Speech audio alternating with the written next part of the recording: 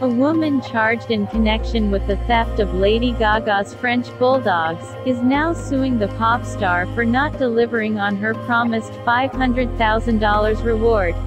Jennifer McBride asserts that Gaga, 36, made it clear that she would pay the large sum, no questions asked, if her dogs were returned unharmed. The singer announced the reward in February 2021, after her pups, Koji and Gustav, were stolen from her dog walker at gunpoint. McBride claims she returned the dogs to Gaga on February 26, 2021, just two days after they were taken.